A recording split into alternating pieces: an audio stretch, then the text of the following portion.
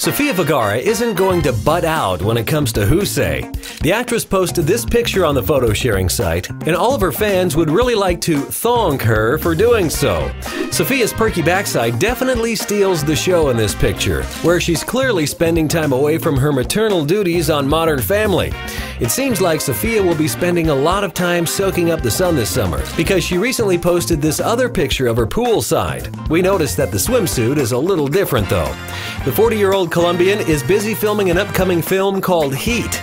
But as long as she keeps posting photos like this, we're pretty sure her career is already sizzling.